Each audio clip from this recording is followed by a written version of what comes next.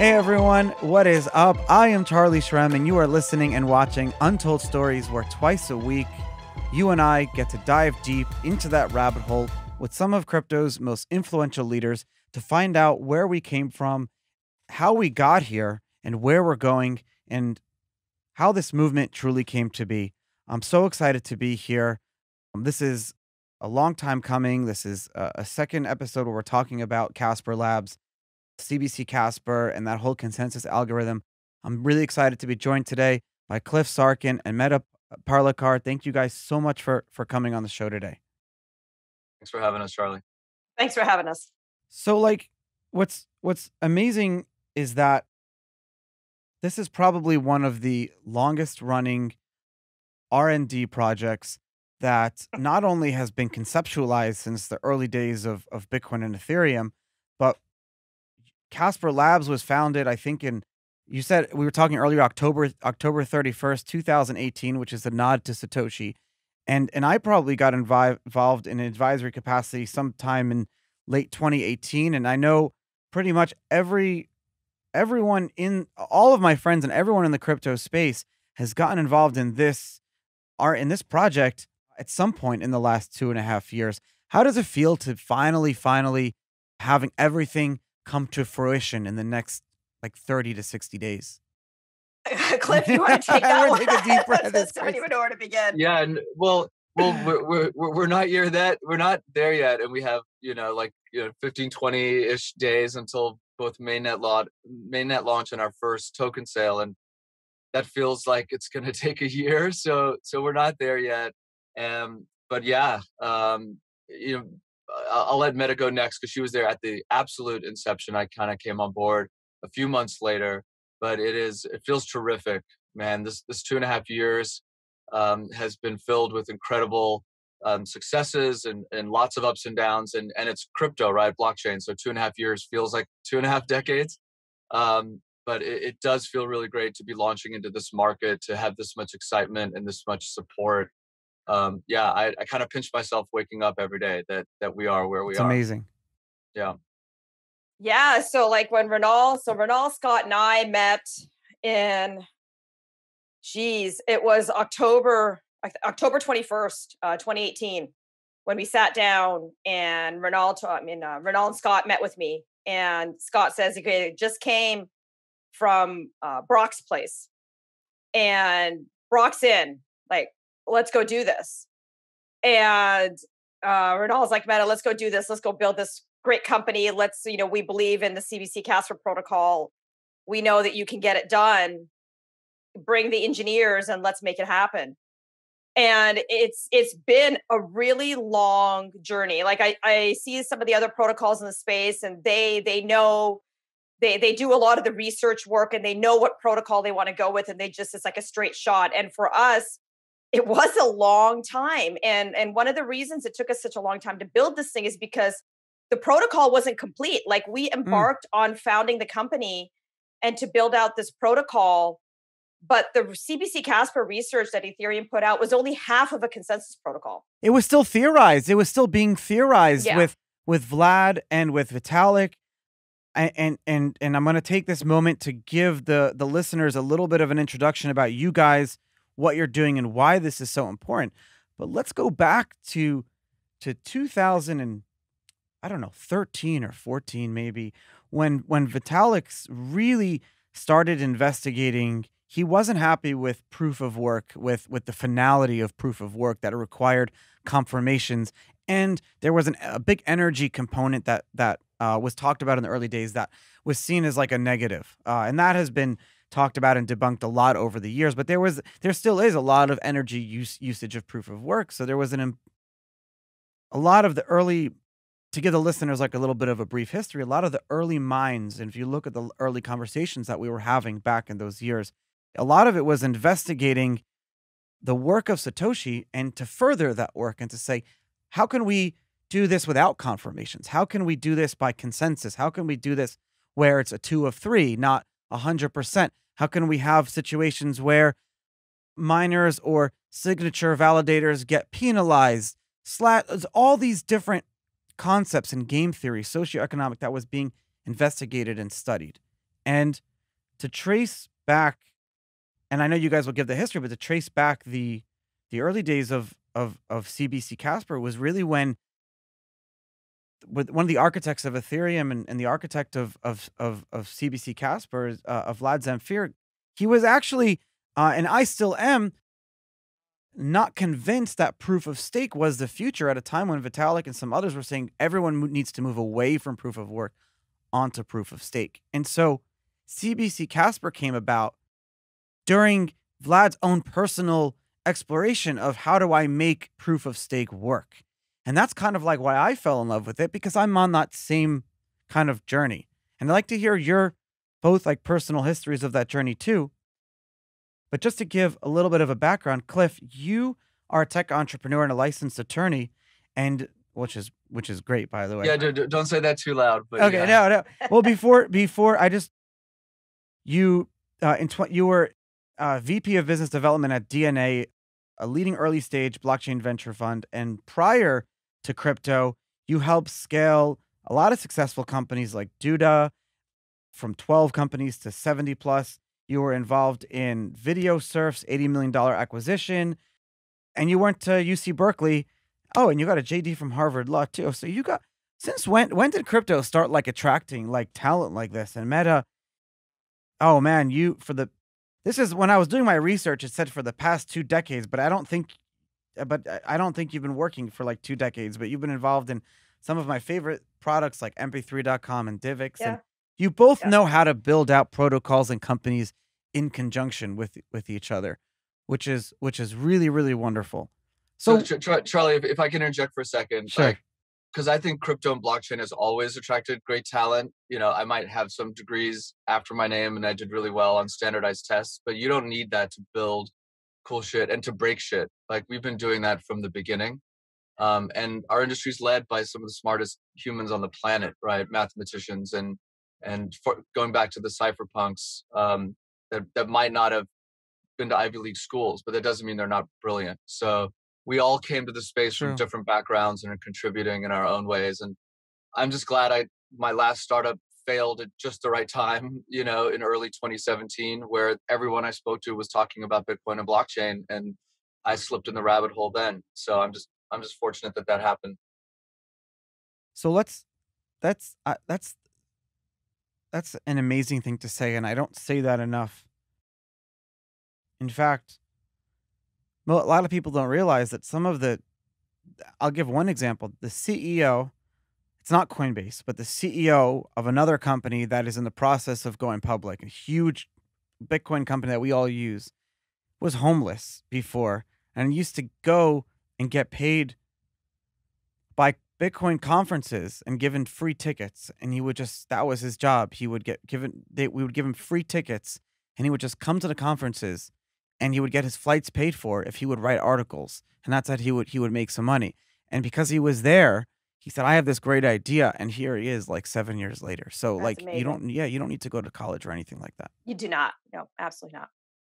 Probably like all university teachers are like, shut up, don't tell them that, you know?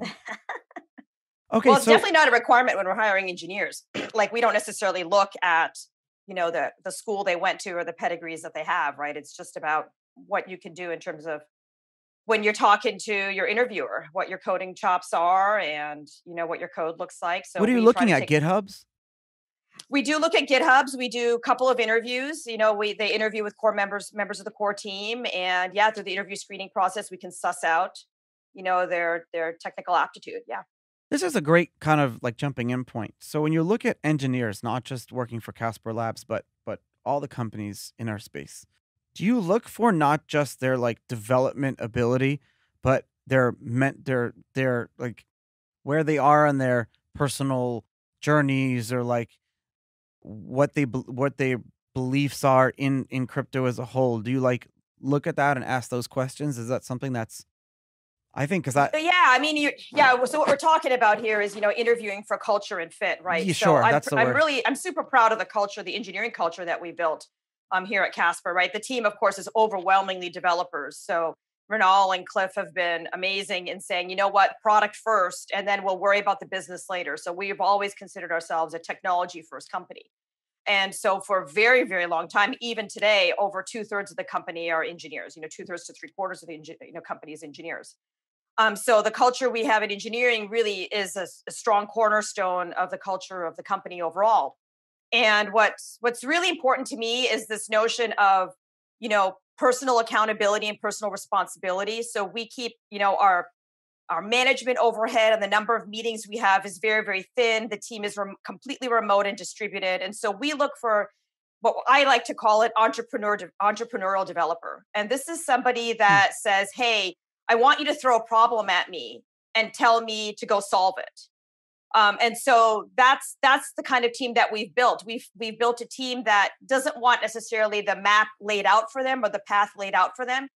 They want to be able to cut their own path solve those technical challenges and find like the north star whichever the what is the feature or the problem that they're trying to solve.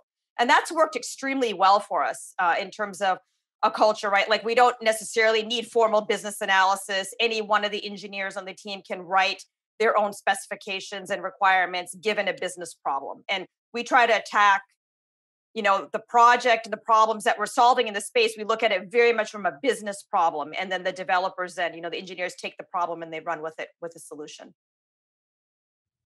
That's the ethos of the company.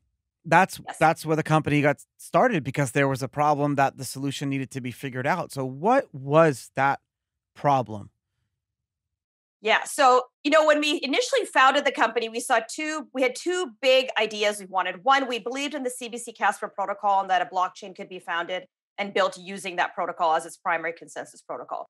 The second thing was is that Mrinal and I both believed that we could build a fantastic professional services company around this technology. And we felt that that was really lacking in the space for enterprise companies. They need help onboarding this technology, not unlike the early days of cloud and Web 2 internet technologies, right? Enterprise, um, you know, blockchain is hard to understand, it's complicated, and um, it's not clear what piece of your application is a good uh, candidate for blockchain technology and how you're going to leverage it.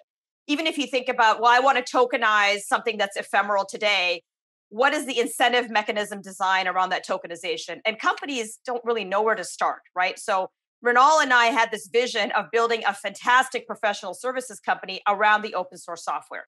And that remains a very strong cornerstone of what we're building today. We pivoted into, well, we didn't pivoted, but we evolved into the public blockchain for enterprise business model because when I sat down and looked at the competitive landscape of, of blockchains in the space, it became really clear to me that I would never select any of the existing public blockchains as a protocol that I would build my business on. Why? And Why not?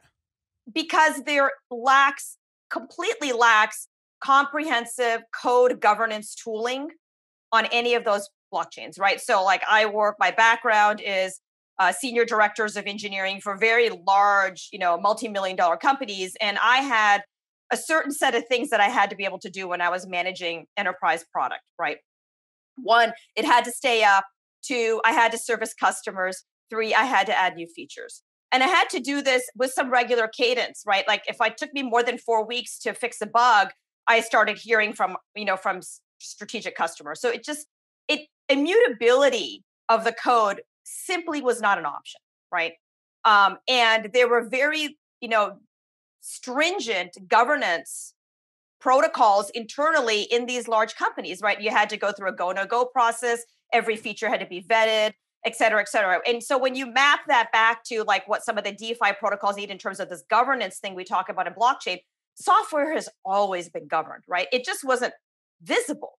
But all of these large enterprise firms, they have very long governance processes whenever you push out a large update, right? Some of these changes or even strategic board level decisions around what they're going to do with their product. What is and it so called? This- FOSS, where the the mechanism for for like managing large open source development projects that are decentralized pre Bitcoin. Like like there are govern there's a governance system for that. There is, there is absolutely, and internally in all of these companies, you absolutely have software governance, right? You have like multiple quality gate checks that you need to go through, right? I've been a, a senior director of quality assurance in many of these companies. I would be the one that would they would I would walk into the door. They're like, we have a problem shipping our software. We have quality problems shipping our software. We have configuration management problems shipping our software. So what we baked in to the Casper That's what protocol, my CTO said to me every time when I was the COO of Jaxx. We would Yeah. like push the update that we have a problem delivering the software. Sorry. Sorry for interrupting. No, you're exactly It's right. funny. And so what we built into the Casper protocol is It's the hard. ability to do these things. Like literally, and it all happens at layer one, right? Um, smart contracts in Casper can actually go through an automated build, release, deployment process. And software isn't tested by people in enterprise. Software is tested by computers, right? There isn't any way for you to scale out your software delivery unless you use technology, computers to do it. And Casper contracts will drop directly into existing pipelines. And this is like a huge, huge deal. Um, and we discovered it internally in our own team that like we can't deliver contracts without having this capability. So we built it for ourselves, and now we're making it available to everybody that uses the protocol. I love it. I love it. This March, lose the Lucky Charms and crash into crazy boosts with my favorite sponsor, BitCasino.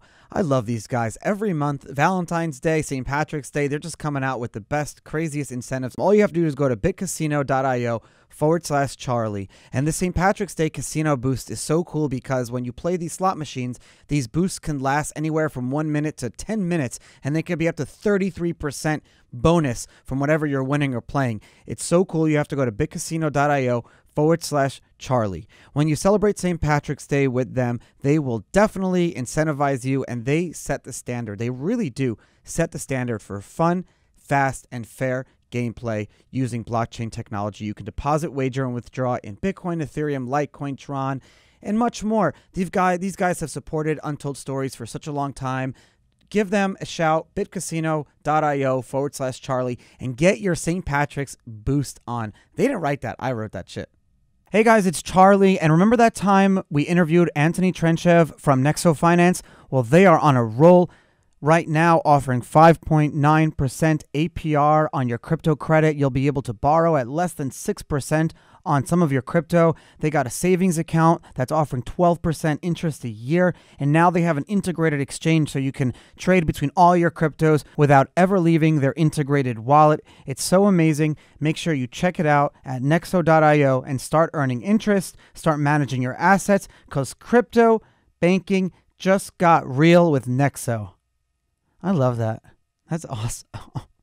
I love Nexo. It's such a great company. Just the way like smart contracts are audited now, it's like you have to get a developer to write the contract and you get like an SOL file and you deliver it to the auditor company and then how do you trust that the one that's being delivered is the one you wrote and then that one is the one you uploaded? There's all these breaks. It's like it's like handling like a crime scene. If there's no what's the word like cons, con, uh I'm like like Th- There's a, The ch- a chain, a chain. chain of custody, Chain right? of for, the, for, the, for the code, yeah. There's the code chain the of custody blockchain, for the right, code. Exactly. Yeah. It's it's crazy. It's absolutely crazy. So when I looked at this, I was I just kind of, you know, scratched my head and and and you know, you hear about truffle and ganache for the Ethereum ecosystem, but truffle and ganache will not integrate into what we call development operations pipelines. Right. So there's an entire world of what we call DevOps, right? Development operations. And this is something that I have worked with since literally 1999. Like in 1999, when I worked at mp3.com, we had a massive DevOps pipeline and we were shipping almost 30 projects, 30 full blown projects like single sign on and massively huge projects that we had like, you know, back then we had over a quarter million hits a day, right? And we had web 2.0 dynamic web pages and Wow. analytics and all this stuff that was powering the system on the back end with continuous integration, continuous deployment. So for me, I'm like, how else do you deliver software? Like there isn't any other way. And so we bake that in, right? And so any CI CD pipeline will work with Casper contracts and you can build out a full integration test suite. So you could prove to your auditors if you're concerned about how this particular variable is modified or mutated, you can prove that with unit tests.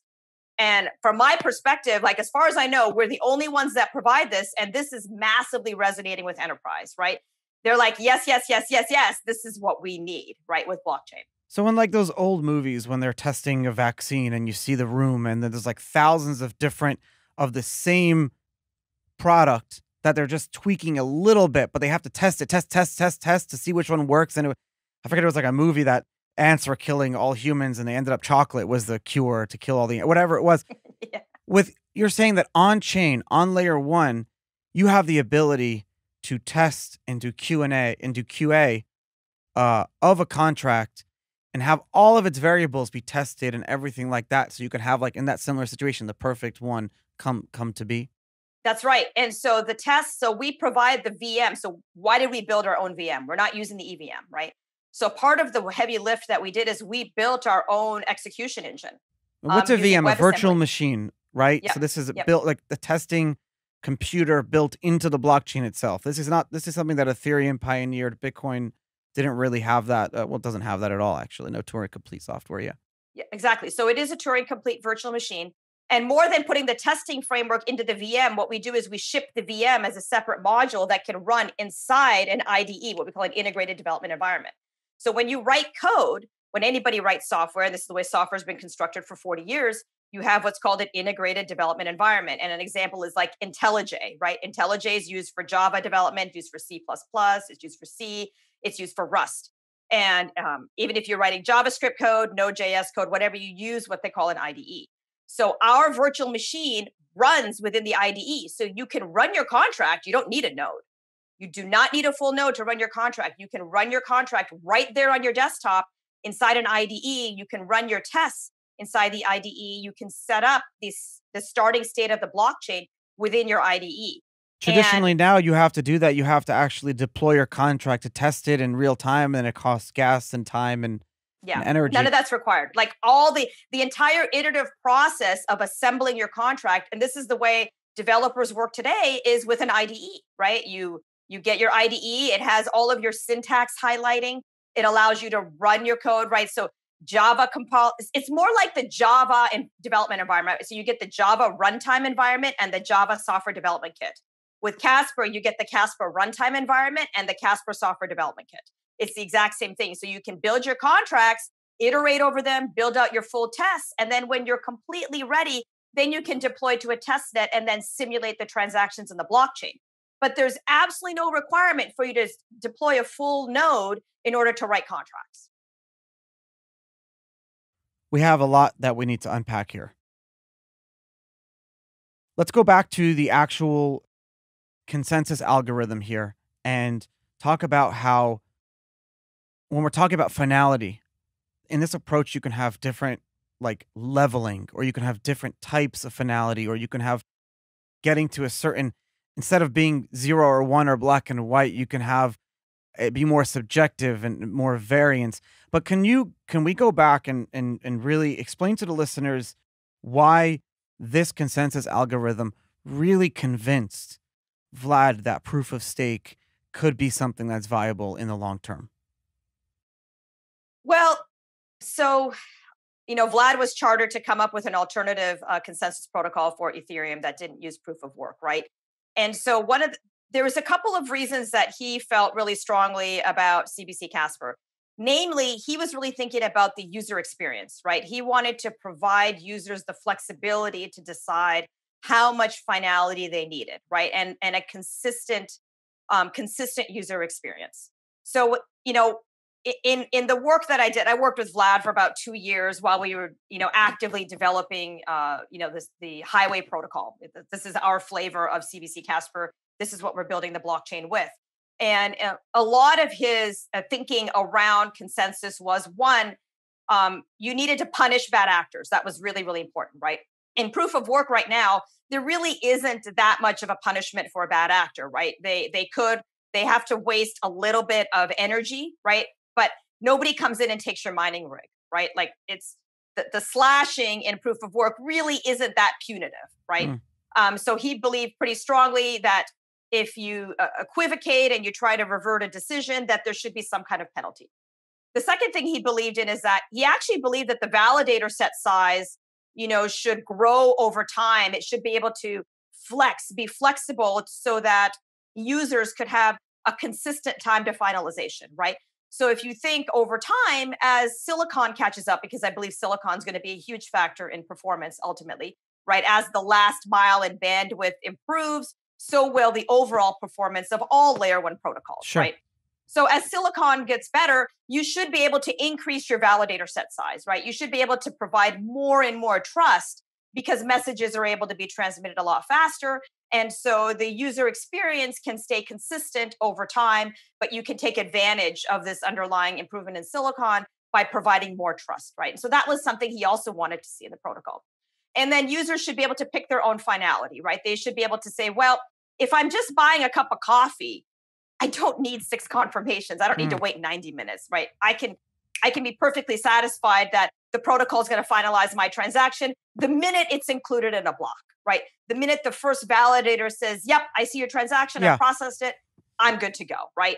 Um, I don't need the same kind of finality that is if I'm buying a house, right? If I'm if I'm putting something very valuable in the blockchain, I'm going to want to hear from a lot more validators before I'm ready to proceed. He wanted right? to create really a the, dynamic variable blockchain, some where it's where every variable is dynamic instead of static, essentially, exactly. right? Yes, okay. yes, exactly. And the Highway Protocol actually does meet all of these requirements. Um, the validator set size will flow. Um, it can expand and contract. And now, right now, it is a configuration in the chain specification, but it, we have built that in such that the validator set can grow over time. Um, the fault, fault to- we call the fault tolerance threshold users can decide how many finality signatures they want to wait for and what the total stake is that's voted on a given block. They absolutely can decide. That is their choice. Um, so we have built all of these requirements into the highway protocols. Very proud of it. It's also a partially synchronous protocol, which means it's not like validators can send messages at their own tempo, right? Depending on, they don't have to participate in every single voting on every single block. So it's not strictly synchronous that way. Cliff, from a business perspective, what type of of supply chains or companies or uh, would be the first adopters for for a variable based blockchain like this that would look at Bitcoin and say this doesn't work for us, or even Ethereum and say this doesn't work for us. We need to be able to have more control. Sorry, sorry. Yeah, I You're mean, muted. It, you know the the classic no, no you know blockchain uh, value proposition is is you know works, which is this particular part of your tech stack, putting it on chain is going to make it cheaper and more secure, right? Not if faster really isn't. You know, if, if you want speed, obviously a centralized database is the way to go. But but we're using the classic blockchain uh, uh, value proposition, and you know people love the um, the the security of Ethereum and the trust that you get with a fully decentralized network, but the scalability, the the network latency, and the cost is is really what's preventing them from really putting enterprise on on Ethereum. And resources, right? Like a place to go to with questions and and com- and, and corporate like enterprise level uh, uh, yeah, consultation, and, like and what you, guys would provide to these. Medha alluded like, to this, and are they call if, if it's genius because it's really kind of simple, but the way we structured from from a corporate structure point of view, the the company and its relation to the blockchain, enterprises love. So basically, we started Casper Labs, which is a for-profit corporation, and then we raised equity. People own shares in it, and then for this period of our lifetime, the period you're talking about, the first two and a half years, the main purpose has been to build the blockchain. Then we send it off to college, right? At at the end of this month, and she's out there doing what she does, and we can maybe call her and check in and, and do some things, but she's going to do what she's going to do. Is belongs to the world, and then what Casper Labs becomes is this professional services shop where you know anyone can build on the blockchain like any other open source software, but if you had the resources to hire someone to assist you, a big enterprise or a government or an NGO, who else would you rather work with than the guys and gals that that built the blockchain? And that's and that's really resonating. And so to get to your your question about what are the use cases, we're finding people actually come into us in all different industries. You know, you mentioned supply chain. That's a classic blockchain use case. We're working with a, a few right now on really early stage, but idea formulation. Um, uh, licensing, provenance, uh, real like governments actually we're starting to work with. Um, I know, like this is perfect for Estonia, too, because their whole people don't realize that you look at Estonia, their whole government is on is on is online, like everything. Like you go to Estonia.gov and you type in your ID number, you do from everything to your parking tickets to your voting to your taxes to your uh, uh, every interaction you have with civil, criminal, or just everything, like even your interactions with your, re- it's all done. So if you look at if they put this all like in the simplest of terms, put it on a blockchain, when you have like a static chain like Bitcoin is, it doesn't work for that. You need, in some respects, you need speed over objective finality because then there's no point of even having to do that contract, whatever you're trying to do. All it does no point to it if it's slow. Like there are some sometimes you it's okay to bring Yeah, that lever down and for again, the lever to speed go is up. sometimes it, but really it's security. Um, you know, like if it's if it's sensitive data, right? Like, and you don't want to house it locally and and have it susceptible to single points of failure. You know that that that's a big one. And cost. Um, if you're if we're able to put on a network where you don't really have to pay for it because all the validators are getting compensated in tokens, then you as the customer, the government is like, heck yeah, it's cheaper and more secure. Let's let's at least experiment with it. I mean, what we're finding when we talk with folks, what's really resonating them is this concept of mutable contract code, versioned and mutable contract code, combined with immutable history log, right?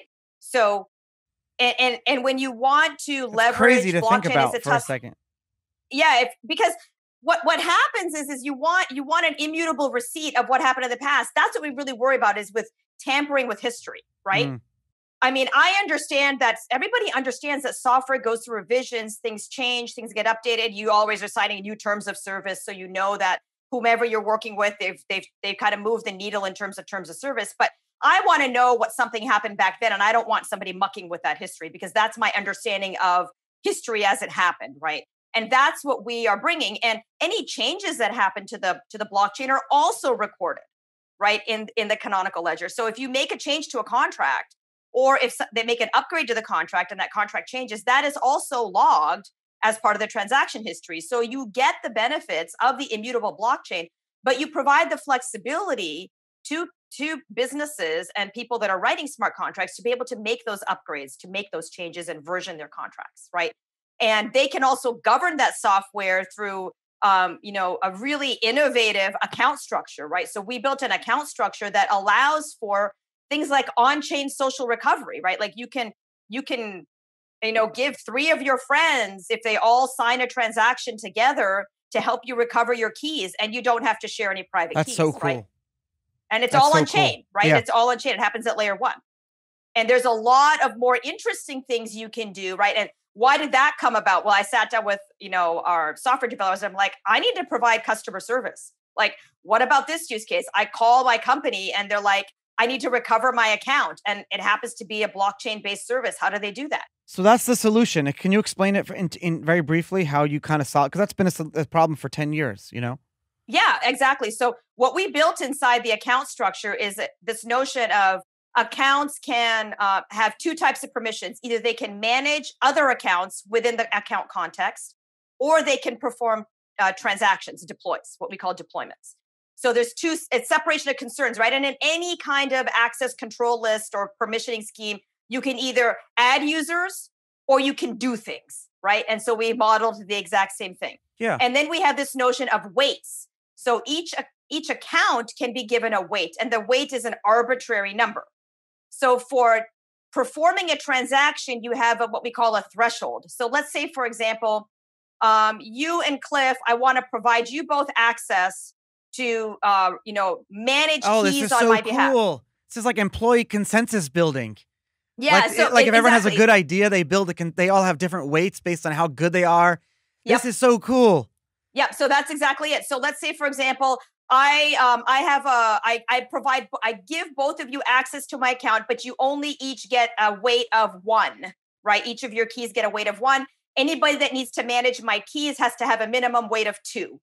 And so what that means, neither of you can manage my keys by yourselves. You both have to sign together to add another key to my account or to help me recover my key. And this can grow arbitrarily, right? So you could have 10 people, 100 people, and you can set the weights to whatever because it's just a weight, right? So we haven't defined or limited how this works. And there's a lot of really interesting things you can do, right? You can build an en- entire access structure for your for your contract. You can govern who can update your contract. You can govern who re, re, you know performs you can transactions. Build trust Anything. and off this too. It's not just with software. You can do like legal work yeah, built on absolutely. the same type of account weighted structure. And I'm just thinking like how major like you look at a company like VMware that's like deploying the same type of software like you were talking about earlier in MP3, like constantly putting out a lot of I'm just thinking as my friend my friend works there and he talks to me about just managing developer teams. That they're very political sometimes. And then you deal with politics. But in this situation, developers in, internally can can be assigned certain weighted numbers. And then in mm-hmm. order for like let's just say you were the the leader of that team, you can say in order for piece of software to be brought to me for review, it needs to have a threshold of 80. So what's exactly. going to happen is all the developers are going to try to build consensus with each other, and they're not going to. It's, it's, so cool. I love shit yeah, like this. Exactly, exactly. So our our design philosophy on the like with respects to everything we're building around Casper is we believe the protocol should enable, right? It should be an enabler of higher order functions, right? So we provide core capabilities at the protocol level, right? So the account structure provides it. core capability. Exactly. We don't force it. Like we don't block it in, right? So we built an account structure and with, with the weights and thresholds model, we provide core capabilities at the protocol level that enable developers to build features, right? And enables, and it's an enabler of higher order functions, but it isn't like t- you're not tightly locked in. Like we didn't really build features at the protocol level, we build capabilities. That's kind of like how we see building a protocol. This is what I expect from a protocol, right? When I'm building a platform, a platform is all about capabilities. It's not really about features. So this is why so this is the thing. Everything you just described, both of you, it sounds great and it's amazing and it's the future and what we've talked about. But there's one problem. It's expensive. And not expensive that it costs to build it, but it's expensive to use it because mm-hmm. if you want to have that security, you're going to people are going to need to pay for it. And it's a problem Bitcoin had a few years ago. It's a problem Ethereum's going through right now. Every con I, I I executed three. I interacted with a contract today three times. Each time cost me sixty dollars. Just wiped out my profits. Right, no point to. So, explain to me how you've and I, and I tried to understand it, but essentially you're creating a gas futures market, and yep. and some space is blocked off. Why? Correct. Why that approach, and then why do enterprises like that approach the best? Yeah. So one of the things we did is we reserve space. So we we know that overwhelmingly the use case for blockchain is going to be token transfers. Like this is a big piece of what blockchain is going to be all about. Our blockchain is going to be the same thing, right? So we've got Turing complete contracts, which are you know WebAssembly deployments, and then we've got uh, token transfers. And what I the edict I put forth to the team is that like, hey, I want to make sure that a certain number of token transfers are guaranteed in each block, right? Because okay, we yeah. know that that's going to be overwhelmingly so what we did is we literally cleaved away the block, cleaved, we, we kind of split up block space and reserved space in each block. So validators that are form, you know, following the protocol and want to propose valid blocks will have to follow that model. So what we're going to do is we're going to extend that model and we're going to enable contract authors to reserve future block space. And will in essence basically tokenize that block space. So up to 6 months in advance, contract authors can predict and project how much block space they're going to need, and they can purchase that block space in they advance. Can hedge. That's so cool. Yeah, yeah. and you're, validators you're really applying... will be forced to follow this uh, gas futures market, or they won't receive the transaction fees, right? And the proposer is the one that gets the fees. You're applying economic theory to you're applying economic theory, socioeconomic theory to to th- this software. In a way, it's like how what happened in Texas a few weeks ago, where they were so cold and all the energy market was in flux, and the energy's futures market got crazy, and these companies were forced to buy energy at spot price. Eh, you kind of, and that's why a lot of people's electric bills went crazy high in Texas. So if you look at that and like the block size issue, and you kind of say, "Whoa, what if there was a way to like say I may need some amount of block space in the future?" Let's create a market for that, a futures market that I can uh, hedge. It's it's pretty brilliant. So let me ask you a question. Do you see Bitcoin and Ethereum as that like blockchain 1.0 and then now all these next agnostic chains where they're not like token based, but they're more like these are variable based, and we want to allow like amazing. We want to enable people to be able to not just build but define what type of security they and speed they want where, where it's not affecting the chain. Is that the 2.0 and you could both kind of answer this. Is this at the 2.0 will there be a 3.0 or is this kind of where blockchains are going? I absolutely like you know I believe in technology and innovation and I believe I believe a lot of that's driven by what the market wants. And I think if we want to see a future where we're doing micropayments and you know using blockchain technology as like the base layer upon which you know all financial systems are built upon then i think absolutely right? Um we're ultimately held back by silicon i maintain like we've done fantastic work what do you mean by protocol. that well what i mean by that is that you know blockchain is really dependent on the underlying networking layer right? Whether you like to admit it or not, no matter how we dice it, at some point, even with these highly efficient proof of stake protocols, you have to collect and gather messages, right? You need you need in order to form consensus all those nodes have to agree on the the global state right the high, transaction state and that's high node yeah a- asynchronization and they need to be no latency and be able to communicate with each other exactly in and, real time. And yeah. while there's a lot of fiber optic networks, you still have this last mile problem, right? Sure. So you can have fiber up to the junction box, but then do you have fiber into the data center, right? And and you could arguably say, yeah, I'm going to put all my nodes in really big data centers, but that's not really decentralized, right? No, I mean, and you so have ISPs are a problem too. No, I see yeah. where your point is here. Yeah. Yeah, I mean, and, and we saw, actually, I want, I want you to finish, Medha, when, when, you get your thought out. But I did have a thought on the, you know, blockchain 1.0, 2.0. But yeah, please finish. Yeah.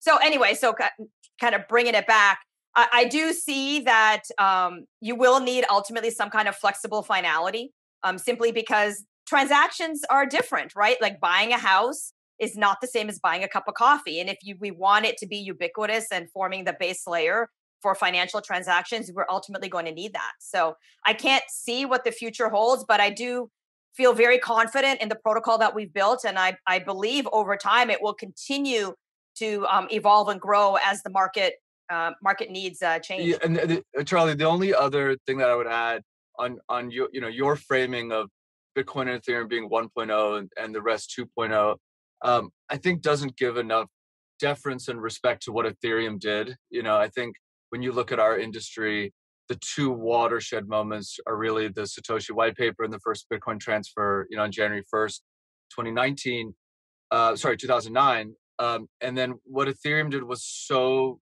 revolutionary, you know, that that I almost say that's 2.0 because adding the smart contract capability and th- that's what radically transformed the industry. And then, you know, what I think we're part of is maybe 3.0, uh, however you, you slice it. But but this moment is now making blockchain accessible to industry to government to to other sorts of groups and enterprises and i think that's you know we'll, see when we look back and do history uh, you know maybe you know casper and the casper blockchain was the the pivotal moment that ushered in 3.0 because a lot of these next generation trains have been trying and we, we really hope that we are and and we'll see very soon.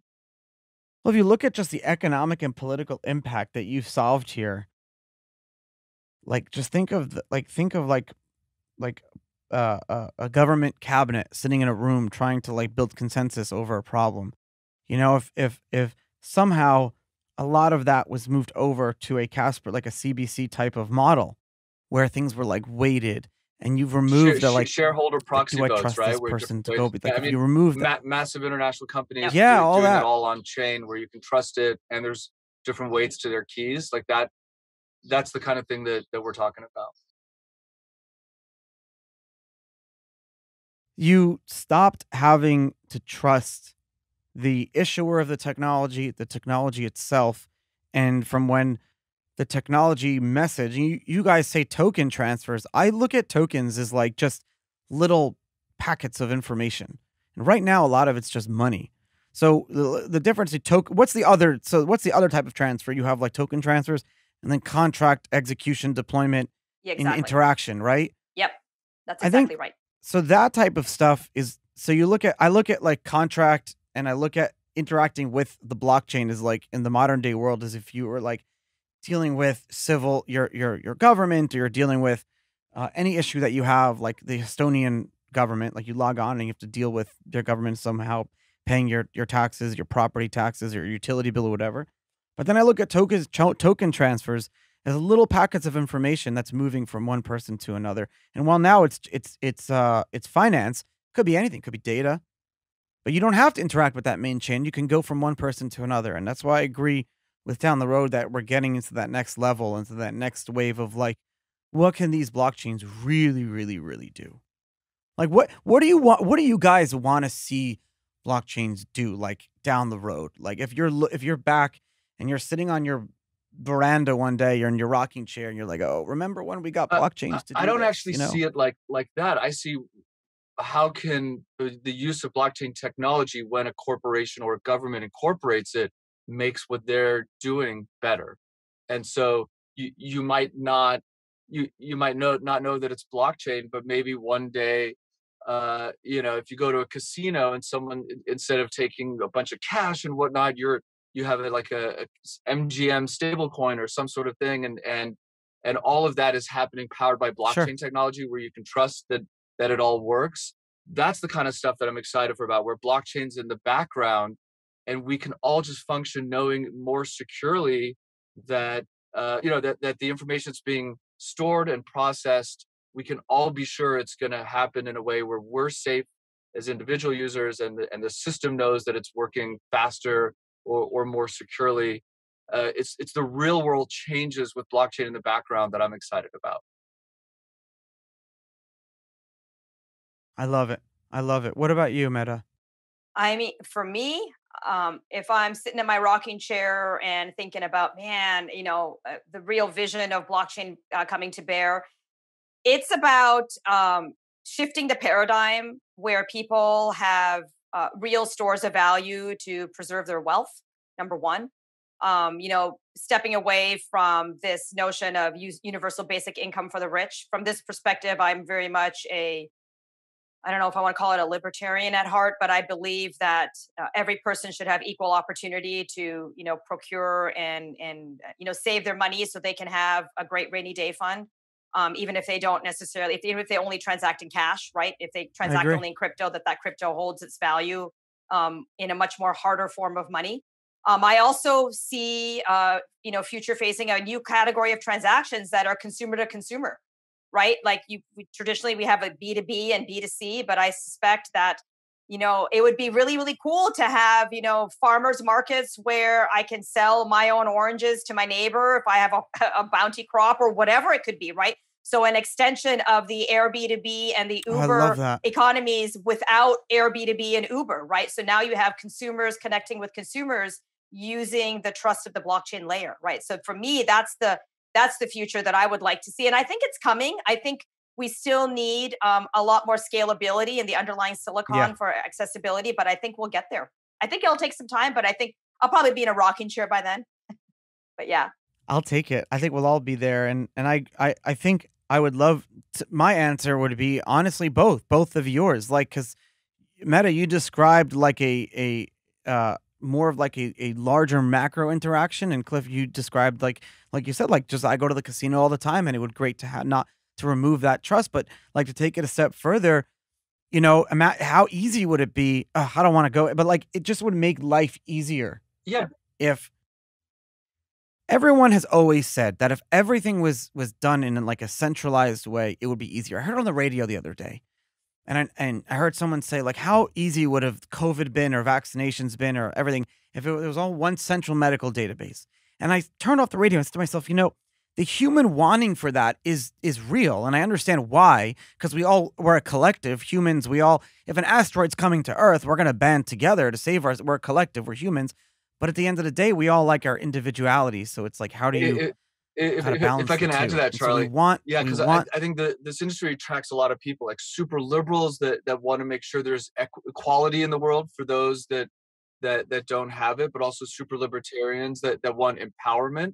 And yes. I think blockchain provides that, right? It's it's both equitizing and and empowering. It's bipartisan. And, and, you know, and thinking back, like what was one of the moments that really like helped me slip down the rabbit hole was was the uh, Equifax data breach. I think it was September of 2017. Like, regardless of Oh your yeah, political remember that. stripes, you know, no one wants a third of all Americans' data to be out there in the black market, right?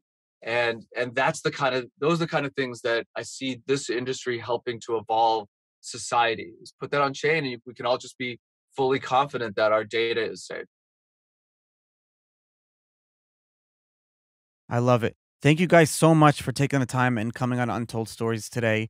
We dove deep into some uh, very interesting subjects and really got, I think, got a, a handle on why what you're doing is not only important for the crypto community, but for the world at large and, and all of humanity. So thank you for for working on that, for doing the the research and development on something that took years to to give you that like personal satisfaction to now finally see going into the public eye. Thank you guys again, and to all the listeners, thank you guys for listening to Untold Stories. And uh, I'm Ch- your host Charlie Shrem, and I'll talk to you guys later. Bye, everyone. Thanks, Charlie. Bye, everyone. Thanks for having us on.